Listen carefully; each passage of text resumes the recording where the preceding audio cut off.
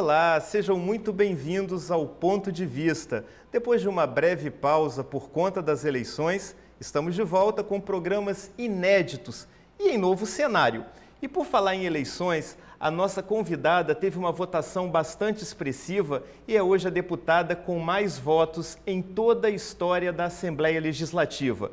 Estamos falando da deputada eleita pelo PSOL, Camila Valadão. A Camila é assistente social e doutora em política social e atualmente vereadora em Vitória. Camila, seja muito bem-vinda ao Ponto de Vista e, em primeiro lugar, parabéns pela expressiva eleição e é justamente com, essa, com esse questionamento que eu começo o nosso bate-papo, a nossa conversa. Bom, você teve mais de 52 mil votos, Exato. foi a quarta deputada mais votada e a mulher mais votada em toda a história da Assembleia Legislativa. Então, a minha primeira pergunta: qual o sentimento de é... estar lá? E a segunda pergunta: a que, que você atribui essa votação tão expressiva? Telmo, primeiro assim, eu quero agradecer, dizer da minha honra de estar aqui. Agradecer também quem está aqui nos acompanhando. Olha, eu estou emocionada. Aliás, quando fala esses números, quando traz né, o fato de ser a mulher mais votada, isso remonta todo o sentimento no dia da apuração. Né? Assim, o sentimento ainda hoje é de profunda gratidão Primeiro, por tanto voto é, é, depositado no nosso projeto político, o meu nome, ele expressa um projeto político que é mais amplo, portanto, toda a confiança que foi depositada nesse projeto político, o sentimento é de gratidão, de um lado, e de outro lado, é de uma responsabilidade enorme carregar tanta esperança e tanta confiança. Né? Então, assim, acho que o resultado ele demonstra também como a população capixaba vem reivindicando por representatividade e também é uma denúncia, Thelma, olha só, a última deputada mais bem votada foi em 2002. Mais de 20 anos que a gente tem no Espírito Santo, como sempre, homens sendo recordistas de votos e mulheres com pouco destaque ocupando espaço na Assembleia Legislativa. Então, que honra ser o nosso projeto, que honra ser o meu nome aí, é, podendo ocupar com destaque essa cadeira na Assembleia. Pois é, eu vou fazer um retrospecto aí da sua trajetória na política, nessa sua quinta eleição. O primeiro pleito foi em 2014, quando você foi a única mulher que se candidatou ao governo do estado, ou seja, uma candidatura bastante corajosa. Em seguida, por duas vezes, teve votos, mas não conseguiu se eleger por conta do coeficiente eleitoral. Só em 2020 foi eleita vereadora, sendo a segunda mais votada e a primeira mulher negra eleita para a Câmara Municipal de Vitória. Né? É, você acha que toda essa trajetória ela acabou se revertendo nessa votação expressiva de agora? Tenho certeza. Acho que essa trajetória que a gente veio construindo há muitos anos, que é uma trajetória firme do ponto de vista das bandeiras, firme do ponto de vista da história. Veja, lá atrás, quando eu fui candidata em 2016 a vereadora em Vitória, fui a quinta mais votada e não entrei, eu escutei de várias pessoas, ah, muda de partido, é, se candidata por outro partido que você entra.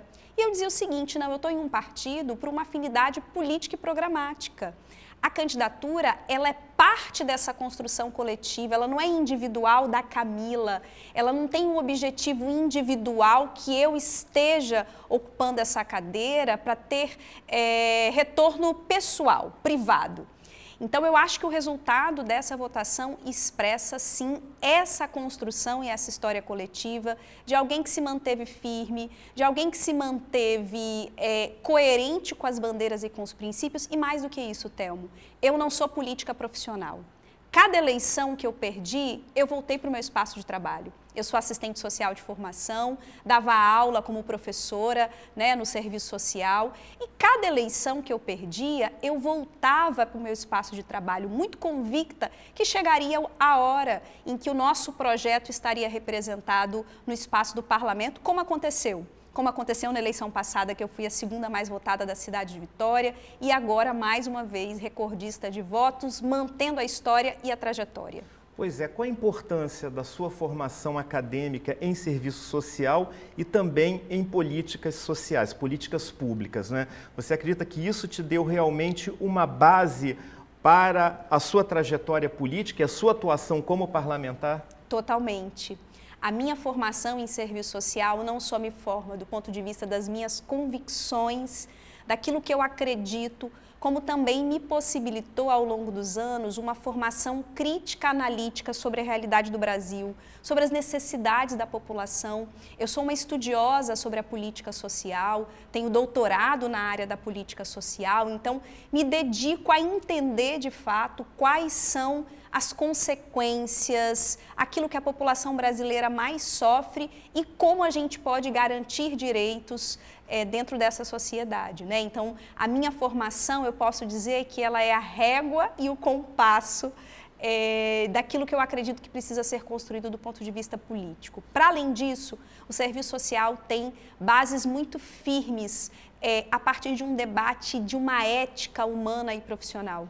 Isso eu também carrego para o meu exercício parlamentar uma atuação parlamentar que respeita os sujeitos, os indivíduos, de uma maneira muito ética e muito coerente. Você poderia dar um exemplo disso? Posso. É, isso é engraçado porque a gente conversa muito, eu vivo dando depoimentos sobre isso. Uma das coisas que a gente aprende no serviço social, os assistentes sociais fazem visitas domiciliares na casa de sujeitos e usuários. Uma das coisas que a gente sempre debateu na profissão é como que essas visitas elas podem ser invasivas. Como que você chega na casa da pessoa sem avisar, né? Isso é desrespeitoso. Então a gente aprende do ponto de vista de um debate ético como que a gente avisa previamente. E eu trago isso para o meu exercício como vereadora. O vereador e a vereadora têm a prerrogativa de fiscalizar os espaços socioocupacionais da cidade cidade, eu posso em unidade de saúde, escola, pronto atendimento, tudo isso, porque é minha prerrogativa fiscalizar. Mas eu faço isso respeitando, Telmo, os sujeitos que atuam naquele espaço. Quando eu vou em uma unidade de saúde, eu ligo antes para a diretora. Ei, fulana, tudo bem? Vereadora Camila, queremos fazer uma visita. Geralmente a minha assessoria que liga. Olha, a vereadora quer visitar o espaço, quer saber como é que tá as condições, se tem médico, se tem servidores, vocês podem receber. E quando a gente chega nos espaços, os servidores ficam, nossa, mas a vereadora ligou antes para agendar Resultado: isso tem um impacto que diz do nosso respeito com os servidores públicos, com aqueles que atuam naquele espaço e que atendem a população. Acho que esse é um exemplo mais concreto de como é possível sim ter um exercício parlamentar pautado em uma postura ética que respeita tanto o cidadão como os servidores públicos que atendem esses cidadãos. Na sua campanha, Camila, que foi uma campanha assim bastante dialogada, né? Você esteve sempre às ruas, né?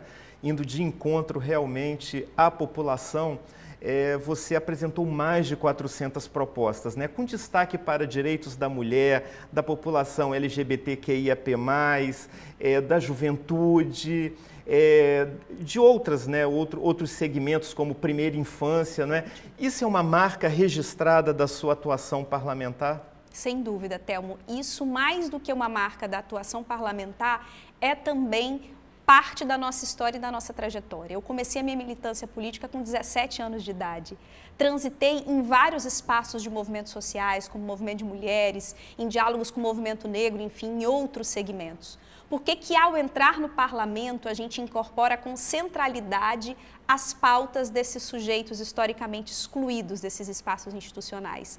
Na perspectiva de utilizar o nosso mandato como uma tribuna, como um eco desses movimentos que não estão representados nesses espaços. Então vejam, os parlamentos em todo o Brasil e o Espírito Santo é uma demonstração. No geral, não tem mulheres, se tem, são muito poucas. Não tem negros e negras, não tem indígenas, quilombolas, LGBTQIA, crianças que sequer são consideradas como sujeitos de direitos que podem reivindicar políticas pessoas com deficiência que são ignoradas nesses espaços políticos. Então, nós entendemos que é nosso papel transformar o nosso mandato em um espaço para que esses sujeitos que não estão lá representados possam sim ter uma voz. E o nosso programa político não se encerra por aí, como você mesmo menciona. São mais de 400 propostas. Eu digo que talvez seja um dos, dos mandatos mais qualificados do ponto de vista de uma plataforma política no Espírito Santo. Você poderia citar alguns assim que você considera assim mais emblemáticos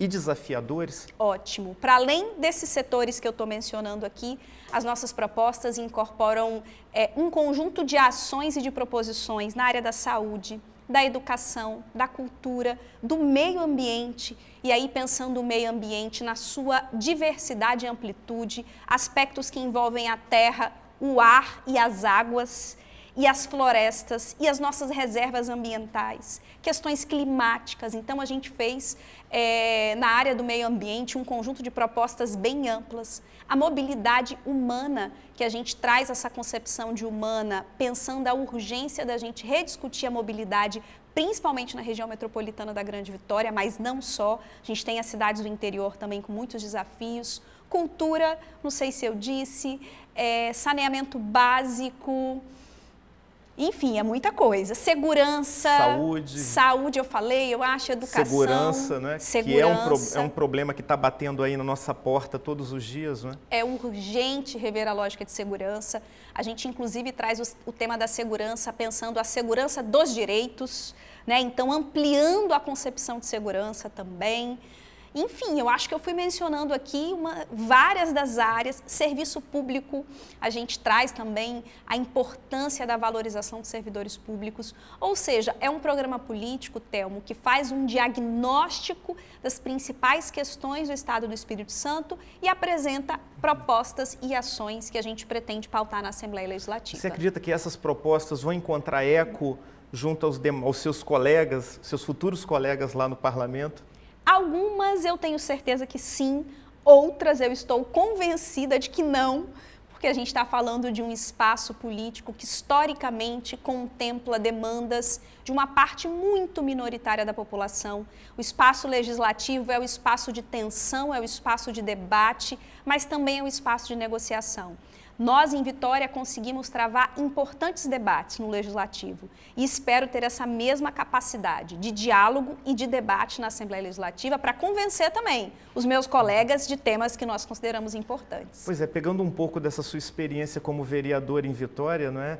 É, você, tanto você quanto a outra, que são as duas únicas mulheres né, que, que, que, estão na Câmara Municipal de Vitória, né, sofreram bastante ataques, violências mesmo, né? foram desrespeitadas, desqualificadas. Você acredita que na Assembleia Legislativa este ambiente vai ser menos hostil? Thelma, é muito importante a gente nomear o que mulheres enfrentam no parlamento. Você mencionou bem, são violências que no Brasil hoje nós atribuímos o nome de violência política de gênero. Inclusive, tem uma lei específica no Brasil, aprovada no ano passado, em 2021, que versa sobre esse tema.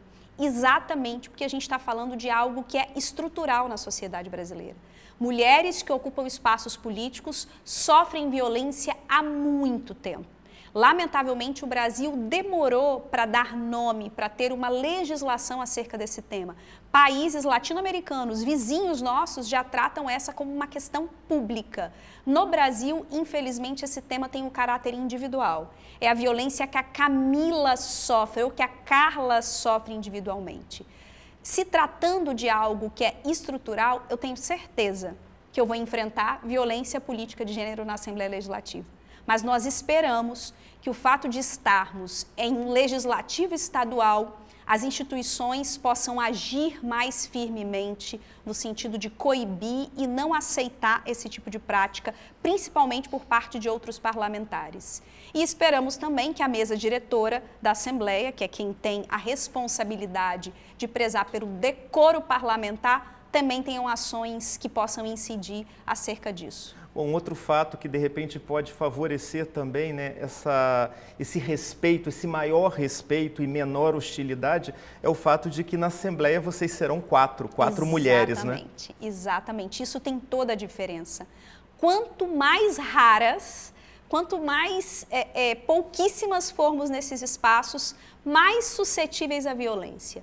Quanto mais mulheres, menos os agressores se encorajam ficam mais intimidados. Então, acho que o cenário da Assembleia, de fato, é diferente. Seremos em quatro é, no meio de 30 deputados, né? Assim, quatro mulheres e 26 homens. Gostaria agora que você avaliasse a performance do PSOL nessas eleições, principalmente em nível de Brasil, porque aumentou né, a bancada de parlamentares no Congresso, né, conseguiram eleger 14 né, deputados e também é, representantes da população LGBTQIAP+, dos índios, né, de sem teto, de sem terra, ou seja, existe aí uma representatividade social muito grande dentro dos deputados, dos parlamentares eleitos pelo PSOL. Como é que você avalia essa boa performance do partido nessas eleições? Ah, a gente está super feliz com o resultado do PSOL.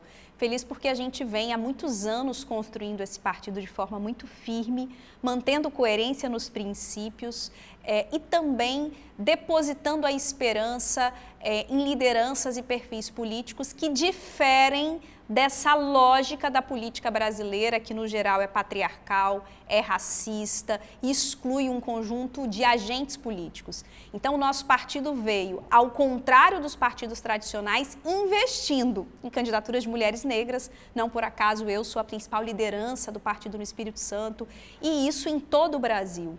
E o nosso resultado ele é vitorioso, Telmo, não só do ponto de vista quantitativo, ou seja, a ampliação da nossa bancada é, na Câmara Federal, mas também do ponto de vista da diversidade. A gente está falando da bancada no Congresso, que seguramente será a bancada mais diversa, como você mesmo menciona. Tem mulheres trans, tem mães, tem indígenas, é, pessoas vinculadas aos movimentos de luta por moradia, é, terra, ou seja, vai ser uma, uma bancada diversa na sua composição e com o pé fincado na luta. Isso é outra coisa, porque parlamento para nós significa espaço de luta, espaço de resistência. Uma questão que você falou lá no início da nossa conversa, né, de que você, apesar das derrotas em eleições passadas, não é? ou mesmo tendo sido muito votada e não eleita por conta do coeficiente eleitoral, você muitas vezes foi aconselhada a mudar de partido, mas você manteve firme é, com as propostas e bandeiras do partido com as quais você acredita e você milita, né? Você acha que isso está faltando na política brasileira, ou seja, aquela identidade, não apenas identidade partidária, mas a identidade do parlamentar com as bandeiras que ele defende, não por mero oportunismo? Tenho certeza. Lamentavelmente, o sistema político brasileiro e o próprio parlamento, ele acaba reproduzindo uma lógica de política que eu tenho críticas profundas, que é uma lógica personalista, pautada em indivíduos que, no geral, detêm poder econômico e poder de influência, e menos em proposta política e programática. Aí o que, que acontece? Você vota no cara, geralmente. Quando o cara chega lá, ele se apropria desse espaço público para fins privados, para enriquecimento. Eu falo isso direto nos espaços onde eu vou. Se é parlamentar e ficou rico sendo deputado, vereador, e posso dizer que no Brasil até deputado federal e senador pode ter certeza que tem enriquecimento ilícito aí. Pode ter certeza, porque ocupando cargo público, com dinheiro público proveniente do subsídio não tem como enriquecer. Não estou aqui dizendo que o parlamentar ganha mal no Brasil, ao contrário, ganha muito bem se comparado à média salarial da maioria dos brasileiros. Mas enriquecer não é proveniente de subsídio parlamentar, então está vinculado a coisas ilícitas e esse é o problema do sistema político brasileiro. Deputada. Ainda tô, ainda tô aceitando, me conformando com deputada. Mas olha, muito sucesso na sua, a sua atuação parlamentar, certo? É o nosso desejo e que a sua presença, como também das demais mulheres que foram eleitas, que continuem qualificando cada vez mais a participação feminina no Legislativo Capixaba, na Câmara Federal, no Senado, enfim, todas as instâncias de poder. Então, muito sucesso e obrigado. Foi um prazer imenso conversar com você. Obrigado pela entrevista. Eu que agradeço, Telmo, pela oportunidade. Espero fazer na Assembleia bons debates e pedir aqui para quem está nos acompanhando que acompanhe o nosso mandato. E eu agradeço também a sua audiência, lembrando que na semana que vem estaremos de volta com mais um ponto de vista. Eu espero vocês. Até lá!